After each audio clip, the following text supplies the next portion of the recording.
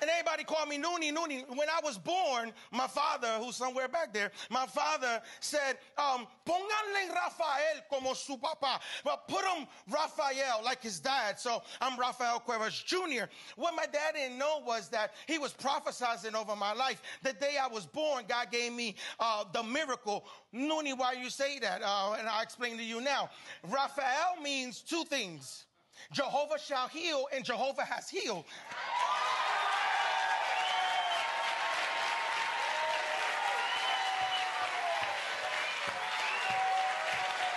Jehovah shall heal,